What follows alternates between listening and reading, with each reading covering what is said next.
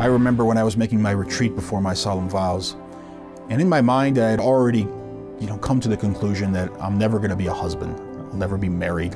I'll never have so many of the familiar experiences that I had within my own family growing up that that really wasn't going to be a part of my life. And I had come to peace with that. I think what hit me hardest in uh, this, this preparation for final vows was the reality that I'm never going to have kids. I'm never going to have children.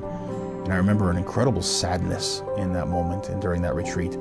But it was a sadness that I really had to offer to God. Because if I was going to be faithful to the vocation that I believed He was calling me to, I had to give him this weight that I was carrying.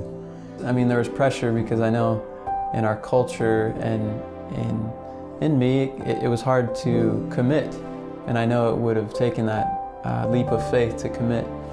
Um, so with spiritual direction and my, um, my prayer, I was able to say, yes, Lord, let's do this. Like, it's not me alone. You're in this with me. I'm, I'm not alone. And for me, I describe it as a day of unconditional love. It was just a day to lay down my life for God as a Capuchin friar, and just receive unconditional love back from God and from the whole community. They were almost all the brothers in the province were there. And it was a really beautiful day of turning my life over and receiving back unconditional love.